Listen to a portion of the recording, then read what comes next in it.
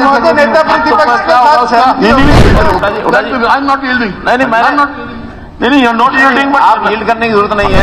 आप 2005 से लेकर और 2023 तक का प्रिंसिपल का भी इसके साथ करवा दीजिए नहीं ये हाउस ने डिसाइड किया मैं तो इसमें हक नहीं था। I was not in favour of the आप हाई कोर्ट आप खुद कर लो। हाँ हमारी एम्पावर यू दिस मैटर आप किसी की एक मिनट हमें इजाज़त दें। नहीं अगर वहाँ पे you have to take stand नहीं मुझे लगता है कि जो हाउस ने डिसीज़न किया है वो सही है उसमें इंक्वायरी होने में कोई दिक्कत नहीं है। पंद्रह तारीख को ज़ीरो आर में आपकी अनुमति से एक मामला हमने रेज करने का, बहुत सारे इश्यूज़ रेज किए। उसमें हमने जो sexual harassment of the girls का मुद्दा भी हमने उठाने का काम किया एनसीआरबी के आंकड़े। अध्यक्ष महोदय, मेरा आपसे अनुरोध है, सदन के नेता यहाँ पर उपस्थित हैं। मैंने जो स्टेटमेंट दी, मैं बिल्कुल दावे के साथ कह रही हूँ, मैंने बिल्कुल सही स्टेटमेंट दी। लेकिन उस दौरान, क्योंकि माननीय हमारे प्रदेश के डिप्टी सीएम महोदय ने खड़े होकर कुछ एलिगेशंस लगाने का प्रयास किया मैंने उस समय भी उसको खंडन करने का प्रयास किया। आज मैं अध्यक्ष जी रिटर्न रिटर्न स्टेटमेंट आपको दे रही हूँ। मामला हमने यहाँ हाउस के अंदर डिसाइड कर दिया this will be inquired by the sitting जज of the high court so इसलिए इसके ऊपर इसके ऊपर कोई चर्चा नहीं it should be inquired by sir it should be इसके ऊपर अभी कोई चर्चा नहीं सदन की कोई गरिमा रखो। हाँ। कोर्ट का जज क्या करेगा? अब हाउस की प्रोसीडिंग है। नहीं, क्या? कभी सुना है आपने कि हाउस की प्रोसीडिंग का हाईकोर्ट का जज करेगा। नहीं ये आप हाउस ने तय किया मैंने तय नहीं किया। ये मैंने मैंने तय नहीं किया। सवाल ये हाउस ने तय किया अध्यक्ष महोदय और हमने अध्यक्ष महोदय हाउस ने तय किया था और आपने जो है हाउस ने तय किया है। मेरी बात सुनो। हाँ जी। प्रोसेस भी आपने तय किया है। Process to submit notice procedure matters of urgent zero hour के। उसमें ये लिखा है कि कोई भी झूठा पर्सनल एलिगेशन नहीं लगाएगा। हाँ। डिप्टी चीफ मिनिस्टर के ऊपर पर्सनल एलिगेशन अब इंक्वायरी में पता लगेगा ना कि पर्सनल है कि नहीं है झूठा है क्या? है विड्रॉ करें वो। कैसे पता लगेगा? वो अपने विड्रॉ करें। नहीं नहीं ऐसे जब तक करें। जब तक इंक्वायरी नहीं हो जाती तब तक कोई वो नहीं अध्यक्ष ये अपना महोदय, एक- करें। फैक्ट मैं उस दिन का करेक्ट करना चाहूँगा। मैंने 2011 कहा था वो दिसंबर 2012 उसको प्रोसीडिंग्स में लिया जाए। ये सारा बात है? ये करेक्ट करें। ये करेक्ट करेंगे। This is matter of this is matter of inquiry Shri Vishwanath Sani ji अध्यक्ष महोदय नहीं देखिए जो हाउस के हाउस अंदर की गरिमा हाउस की गरिमा तो आज नहीं अब ये निर्णय हाउस का है। ये निर्णय हाउस का है कि इसकी इंक्वायरी कराई जाए। मैंने हाउस का निर्णय मानते हुए इंक्वायरी हाँ कराओगे आप? ये ये तो देखिए?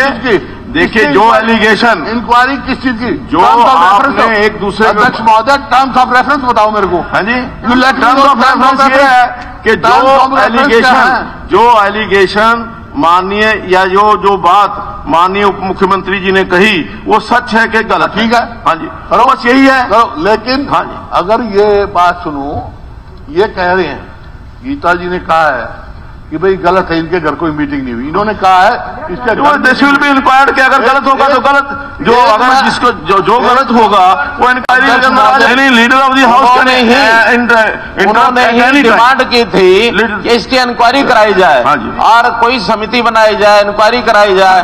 बल्कि बाद में यह आया कि किसी सिटिंग जज से कराई जाए हाँ। हमने तो सदन की भावनाओं को ध्यान में रखते हुए एक चीज़ का जब निर्णय हो गया आपके द्वारा हाँ। कि सिटिंग जज ऑफ़ हाई कोर्ट उनकी एक कमेटी बनकर के इसकी इंक्वायरी करें आज home department chief justice of Haryana, Punjab and high court Haryana, Punjab, उनको लिखने वाले हैं कि एक सिटिंग जज की आप नियुक्ति करें और उसमें टर्म्स ऑफ़ रेफरेंस जो कल चर्चा हुई है, उस सारी चर्चा में जो बिंदु आए थे, सारे टर्म्स ऑफ़ रेफरेंस में लिखे जाएँगे। उसके अलावा भी उस विषय से संबंधित कोई विषय बाकी रहता हो तो हमारे नेता प्रतिपक्ष लिख करके दे दें कि टर्म्स ऑफ़ रेफरेंस में ये भी जोड़ा जाए। खास करके उस विषय के ऊपर हम खुले मन से इस सारी की जानकारी, यानी सारे के जो इंक्वायरी वो एक सिटिंग जैसे करने के लिए तैयार हैं। हमें कहीं कोई आपत्ति नहीं है लेकिन जिस प्रकार का आरोप प्रत्यारोप कर लगाया गया है सदन की मर्यादाओं के अनुरूप अगर हम आपस में लड़ते झगड़ते रहेंगे कुछ निकलेगा नहीं।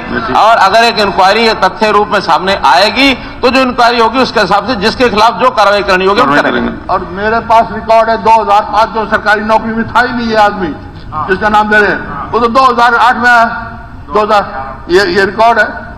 तो 2005 में सरकारी नौकर में नहीं। और वो एलिगेशन लगा रहे दो हज़ार पाँच में ये। इंसिडेंस हुआ। तो क्या मतलब हुआ? तो कौन जिम्मेवार है? मेरा ये है गरिमाएँ रखो आप इंक्वायरी कराओ। इंक्वायरी कराओ उस आदमी की। शुरू से क्या किया? लेकिन जो हाउस की प्रोसीडिंग है उसका हाउस की गरिमा ये है कि अपनी लफ्ज वापस ले या डिलीट करो इनको दोनों जो इन्होंने पर्सनल एजुकेशन देखिए जब एक इंक्वायरी मार्क हो गई एक इंक्वायरी हाउस ने तय कर दिया हाउस ने कहा नहीं हाउस का रेजोल्यूशन है तो, तो सदन की गरिमा उस पर रख दो आप नहीं, नहीं, नहीं, ये भी- ये सदन ने तय किया है। आपकी जुम्मेवारी ये मैंने नहीं तय किया। आपने कंप्रोमाइज किया सदन की गरिमा नहीं, हाउस नहीं। ये मैं समझता हूँ जो निर्णय किया है हुडा साहब जो निर्णय किया वो हाउस ने किया मैंने नहीं किया जो निर्णय किया, हाउस ने किया, मैंने नहीं किया। लोकसभा में ऐसा कई बार मामला होता है। कभी कोई हाई कोर्ट का जज नहीं नहीं आप क्या चाहते हैं कि इंक्वायरी ना हो? नहीं इंक्वायरी हो। हाँ तो बस फिर और टर्म्स ऑफ़ रेफरेंस क्या हो? Terms of reference terms of reference तो यही है जो आपस के अंदर इन्होंने एलिगेशन लगे हैं एक दूसरे के ऊपर। टर्म्स ऑफ़ रेफरेंस होने चाहिए उस आदमी की जिसके खिलाफ है ना उसकी शुरू से क्या है?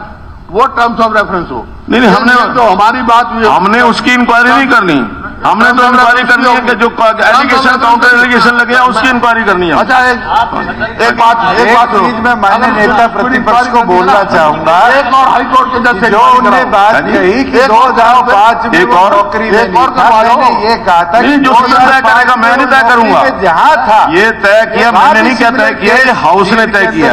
अगर जो हाउस तय करेगा वो मैं करवाऊँगा। आज मैं भी उस फैक्ट पे खड़ा हूँ। 2005 में जिस प्राइवेट स्कूल में वो था उसकी भी इंक्वायरी होनी चाहिए।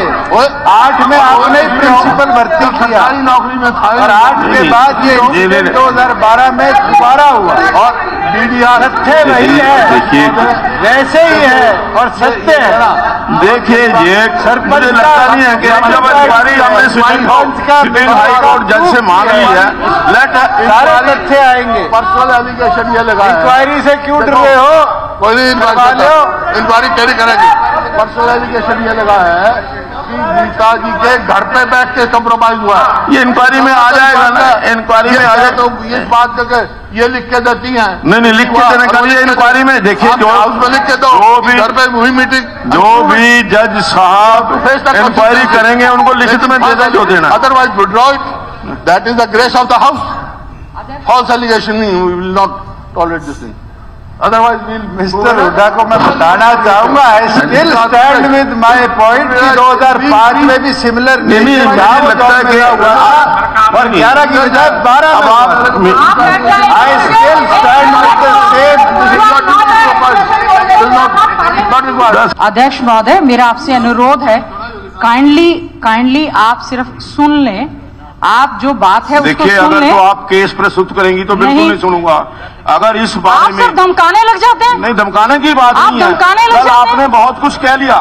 नहीं, अब जो कुछ कहना है वो सिर्फ़ जज साहब के सामने कहना। अध्यक्ष महोदय। जज है उनके सामने कहना। अध्यक्ष महोदय सुन तो लो। ये कोई बात थोड़ी ना हुई सर। सर मैं आपसे रिक्वेस्ट कर रही हूँ आप मुझे देखिए मैं धमका नहीं रहा। मैं आपसे ये निवेदन कर रहा हूँ।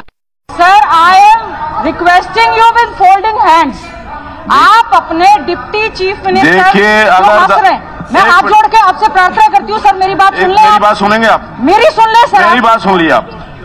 अगर तो आपने केस के फैक्ट्स के बारे में कोई बात रखनी है केस के फैक्ट्स के बारे में बात रखनी है तो वो जो इंक्वायरी ऑफिसर या इंक्वायरी जज होगा उसके सामने रखना। अगर कोई जो कल डिसीज़न हुआ है जो कल डिसीज़न हाउस ने किया है उसके बारे में बात रखनी है तो ज़रूर रखिए। हाँ जी। मैं बोल लूँ और मेरा रिक्वेस्ट है सर हाँ, आप मेरी बात को पूरा सुन लें। हाँ जी। जैसे ही ये मामला अभी शुरू हुआ डिप्टी सीएम ने उठ के पहले क्या बात कही कि ये 2011 नहीं था मैं 2012 था।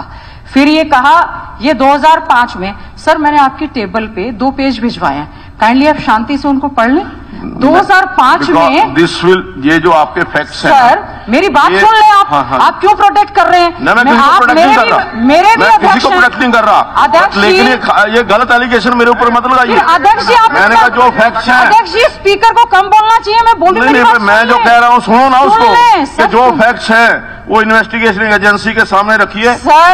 उनका आएगा वी विल फॉलो दैट अध्यक्ष महोदय आपने जो मैंने बात कही वो आपने एक्सपेंज करा दी। हाँ। उसने मेरे पे झूठा एलिगेशन लगा दिया आपने वो एक्सपेंज नहीं करवाया? नहीं। वो क्यों नहीं नहीं, करवाया सर देखिए कब? मैं बता रही हूँ मेरा घर पे सर उन्होंने 11 का 12 बोल दिया। हंस रहे आपके पड़ोस में यौन शोषण हो गया बच्चियों के साथ। आप हंस रहे आपने उनको प्रोटेक्ट नहीं किया। नहीं असरा आपकी बात पे। माननीय हूँ आज भी आप तो हूँ। हैं सदन में। माननीय अध्यक्ष अध्यक्ष